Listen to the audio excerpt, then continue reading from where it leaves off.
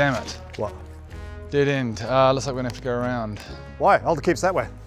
Yeah, uh, but there's obviously a, a mountain in the way, so we'll have to go around. What? Why? Because we can't climb the mountain, Ben. Look.